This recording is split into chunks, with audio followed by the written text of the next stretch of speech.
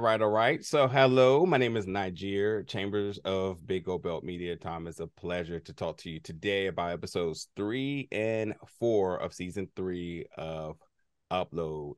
Um, getting right into it. Uh, listen, you're no stranger of of Greg. You all have had uh amazing collaborations in the past, obviously with Space Force.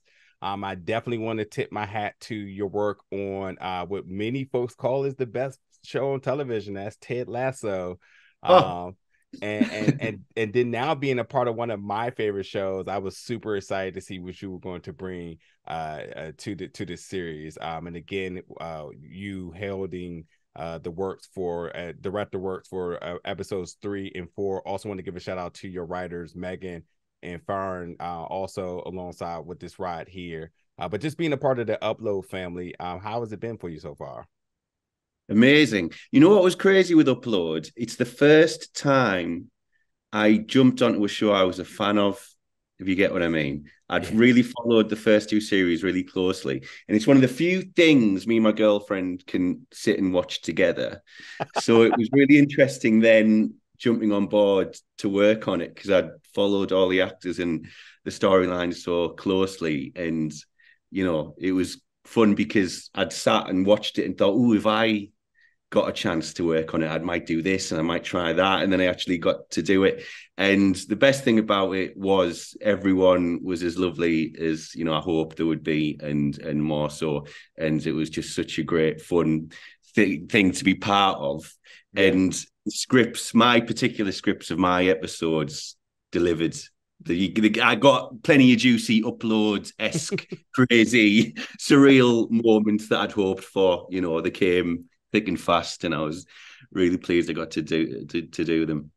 Absolutely. Um, yes, uh, I thoroughly enjoyed this up uh these episodes. By saying this upload, these episodes, uh, we're getting to see um some new relationships created we're seeing some uncharacteristic uh activities by uh characters In- Ingrid having a job is kind of mind-blowing to me to say the least um, and then we have uh we have characters existing in two places at the same time, which is creating conflict uh for folks.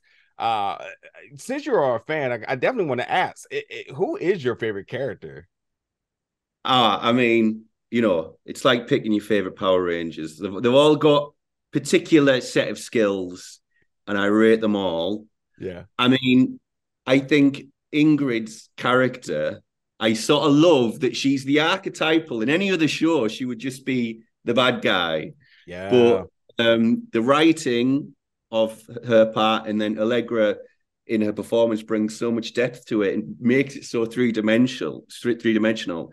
And she then becomes this character where you're meant to hate her, but you sort of love her, and she has all these beautiful flaws to her. And then, yeah, as you've touched upon there, in my episodes in particular, uh, we get to see uh, Ingrid in some very um, non-Ingrid environments, and the results are as hilarious as you would you would hope. I echo that exactly. As much as I love AI guy and Owen's performance, Allegra um has really been um she's first of all she's such a, a, a trooper because you know the fans definitely have been very hard on turning the page in terms of Ingrid, Ingrid being a good person. I mean, they just had it out for her now for two seasons. I could just imagine what their response is going to be with her in this season. But I think it's about time we turn the page and realize, like, yeah, she's flawed, much like many of us, but she's a good person, and I and I and I want her to win. I want her to have love, you know. And uh, yeah, that's the thing. She's just like in love, you know, and she obviously has these weird ways of showing it, and it forces her to do these really crazy, questionable things. But it's all in the name of love, you know. You gotta you gotta rate that, and uh, yeah, we can all relate. Surely, we can all yeah. relate to that. yeah, a thousand percent. Uh, going back to AI guy, uh, is I can talk about Owen's performance for just hours and hours. Uh, but we see AI guy uh, learning to be less creepy, learning to use proper eye contact and having a little break for himself at times, uh, which I love this, and uh, and and and this is why you know these are two of my favorite episodes because as much as uh, in society, AI is being deemed as a threat, and and and some really much fear it. Uh, we're seeing a fun side of AI uh, and a side of AI that's much like us. Uh, and again, we're seeing him get to kind of relax, take a break, even though he doesn't eat. All these sorts of just funny things. A lot of uncharacteristic activity from AI guy. Uh, how? Yeah, how... I mean, I think that, that the funniest moment in my episodes, I won't give it away, but I'll just say cheese. You know, I'll just say that and then you'll know what I mean when you when you when you see it. And it's all down to uh, Owen's amazing performance and the great concept that you know the writers have set up with him. And I just think it's hilarious now, right? So yeah, watching season one, AI, I knew what AI was, and I knew AI was a thing. And yeah. it's just so funny now how much in the zeitgeist it is, how much it is in the conscious. Now people are now suddenly genuinely scared of it and yeah. we're having you know very real world reactions to AI. Um, so now the, the weird character of Owen, AI guy, sorry, is really under the microscope, and I just think it's so it's such a nice counteraction to yes all the fear about it that we have the show where this AI guy gives all the best punchlines and all the best jokes, you know, and uh, is often made to look the most ridiculous, you know. Um, but I have such a, a, soft spot for Owen. I think Owen's so great and he's so young and he's just he's at the start of his career. And um, I think we're going to see a lot more of him, you know. And uh, I'm so, I was, we're so lucky with Upload that we get to have like six of him at once. You know? well said. I agree. Uh, huge, huge fan. Um, and, and, then Nathan, man, uh, obviously we, we, we see Nathan exist in, uh, both in uh the real world here and also in Lakeview. And again, as I mentioned, that's creating some conflict for folks. Folks saying, Hey, I saw him there and I saw him here. And obviously we see Ingrid, who is very much in love with the the, the copy version. And then um and then and then Nora, who's uh, you know, I, I, will say very well. She said it. She's in love with this Nathan, but this seems to be a little bit of minor hesitation. But also, she's ultimately concerned about his health because anybody who's ever downloaded typically don't stay around. So it just seems like they're on borrowed time. I want to I want to talk about some of the jokes with Nathan, the body shaming jokes with Nathan yeah. on this. Uh, I think it's hilarious because for me, I do not notice the difference. Uh, but what I think is so funny because everybody else is around uh, definitely talk about the more jacked, the, the, the Nathan who's who put on a little bit weight, who's obviously hasn't been hitting the gym like before. Uh, how did you how did you all kind of encompass those jokes and, and and working with Robbie? How did how did you want to like really portray those without getting too too sensitive with it? You know. Well, do you know what? There was a lot of discussion about the size of the belly we put on him. you know, because there's obviously the uh, Avengers Thor version of that yeah. joke where Thor gets super fat. Yeah. And what we arrived upon was actually it's funnier that all it is, it's just that very real bit of, you know, weight that's just, you know, that he's let slip, you know, that would just happen to a body that had laid comatose, you know. Yep. exercising for all that time. and it's just, it's I don't know if you guys say this words in the US, but we have it's just a podge. Yeah, yeah, podge. yeah. Yeah, just a little podge. it's not a belly, it's just a little bit of a podge. But as we've established with Nathan in the in the previous series, you know, he's he's a good looking guy and he sort of knows it a little bit. yeah. you know, I always think that very first shot that I think Nora sees of Nathan, it's him checking himself out in the mirror of his motorbike and he and he slicked his hair back and stuff. So we just thought it was just even funnier if it was just actually very subtle, but to him, it's this big, massive deal. Yeah. And then with the Nathan that's in Lakeview, then all of a sudden he becomes this Adonis, you know, you know, set to battle against. Yeah. And the difference between them is actually quite minuscule, but in Nathan's head, it's like, you know, yeah it's it's it's Brad Pitt versus yeah. a real a real guy, every man off the street, you know.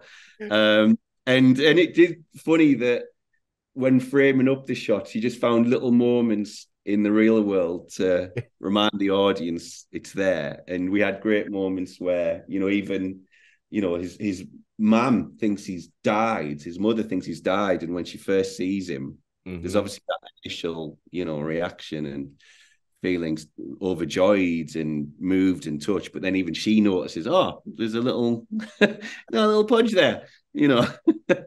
um, so it just it, it, it provided lots of visual comedy moments, but then also um, for Robbie himself, you know, um, lots of moments where you know he gets to show his flaws and all the chinks yeah. in his armor, and um, it's another reason I love the show. Is again in any other show, you know, Robbie would just be the the heart throb and the the, the love interest, but in this yeah. show, he's he's run through the mill as as much as the other characters, and he has all these neuroses going on, and he's battling with all these nuances of mm-hmm. being in the real world and having a version of himself that's in Lakeview, and this sort of weird love triangle he's now part of. He's part of a love triangle himself. Yeah, and um, Robbie again is just such a, a great actor and relishes, you know, to relishes the opportunity to make himself look stupid at times, you know. and, uh, yeah, he, re- he, really goes for it, and we had lots of opportunities for those in in my episodes. Yeah, a thousand percent. I, I love this cast, man. I, I swear. Um, there's, there's just so many little hidden moments, and not even hidden moments. There's just so many just moments within each and every episode where uh this this cast really decides to, to show their talent or just really exercise their versatility and Robbie and and Andy. I mean, they're they're just fantastic together. Whether they're working together on scene or whether they have scenes apart, they just do some really amazing things. And also another set of characters which I did not have on my bingo card is uh Aleesha having a relationship with Karina. I didn't see this comment. I'm with it, uh, but I'm also with anything Aleesha does. Even though I, my heart is definitely there with Luke, who Luke is definitely feeling a little left out here. Uh, how how how do we see this playing out? And whether you want to speak as the director or as a fan, how do how do you how do you perceive this mini? I, I you can almost call it a love triangle. Maybe it's not, but how would you kind of see this dynamic with the three of them kind of playing out? Yeah, I think it's great that um, it sort of heads in a different direction than what we're expecting. You know, I can I can say that. Yeah. Um, you know, like any other show, we've sort of set up those typical triangles, those will they, won't they, yeah, um, elements. But you got to remember, this is the future, man.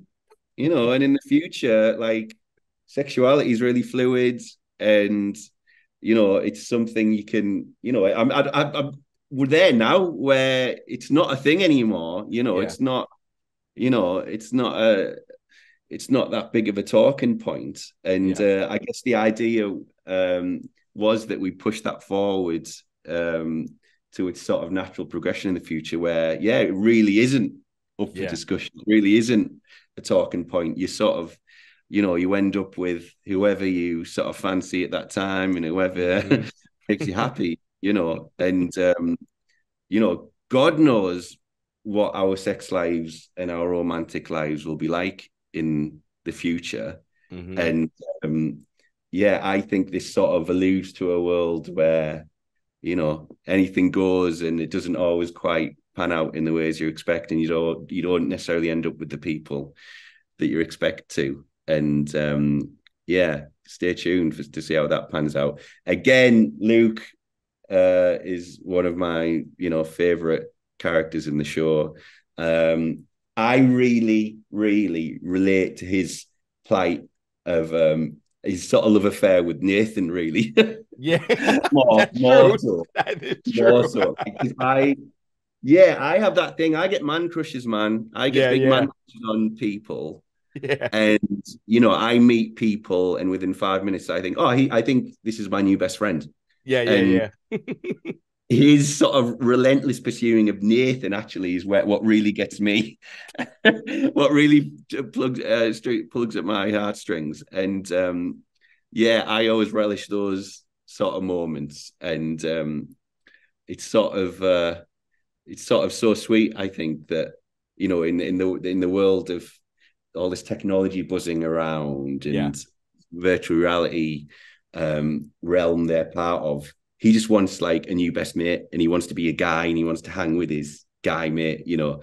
And I think that's so relatable, and I think it's so true that that won't go anywhere, you know Yeah. interesting just just to raise it as a point i think is sort of funny is um because of uploads uh, i got back into gaming you know um as research i bought an oculus when i first Mm. got Mm.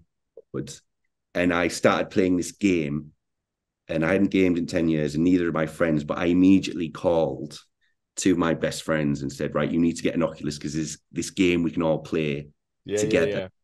yeah. and that was about yeah two years ago and now nightly me and my two best friends now play this game together in the virtual world it's basically fortnite but in vr.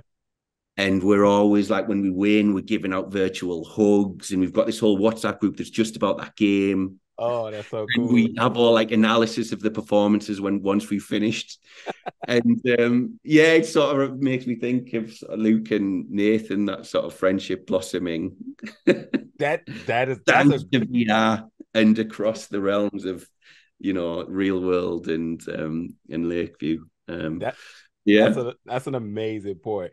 Uh, really quickly, uh, before my for my final question. Also, I just want to say the Dragon Tail cameo, top tier right there. I was like, I know that one. Um, I have to ask here, a little bit of a fun question here, uh, especially for your time working on Space Force. If you had to put Steve Carell in Upload, what type of character would he be? Oh man, that's good. That's good. Yeah, because he could obviously be be behind the curtains. You know, the thing you forget about Steve is like I've seen he's played some like bad guys before, and I think so works. you know, like when he was Rumsfeld or when he was in Foxcatcher. Yeah, yeah, Yeah, He sort of you remember that Matrix movie Reloaded where he meets the maker and it was the guy with the white beard and the white hair. yeah. Like imagine if you know this conspiracy that is that they're chasing, like who's behind the curtain and they keep going. Yeah, the yeah. curtain, curtain. Imagine, imagine if you got to like the maker, the Mm. absolute man pulling all the strings, and it was our mate Steve. Imagine that. That'd be cool. All right, I'll give I'll give Greg a text. See if we can get that happening. Uh, I uh, had an amazing time with Steve. You know, that's one of those where it's um, they say don't meet your heroes, but if your hero is Steve Carell, then yeah, try and spend as much time with him as possible because he was lovely and you know he'd do this nice thing of you know if you gave him a note uh, and he liked it and he went for it he'd come and tell you afterwards. Yeah that was that was good. I like that. And then you had to do, do this weird charades of pretending you were cool you know. You'd go all right oh cool yeah yeah. No no problem steve and then Yeah. you know really you want to jump up and like tell look steve carell just liked my note man. But you have to then like yeah back on my job. Yeah that just uh, it happens all the time man you know. But he was lovely and um yeah hope i get to to work with him again. So yeah we'll put we'll put that in the suggestion suggestion box for season four. Absolutely. Love to hear. Honestly, Tom, this was an amazing time talking to you about your two episodes, episode 303 and 304 of season three of Upload. Hopefully, we get a chance to talk again soon. And it's been a pleasure. Thank you so much for being a part of the Upload family and, and the work you've done so far on this series. great man thanks very much great meeting you Absolutely. Take care.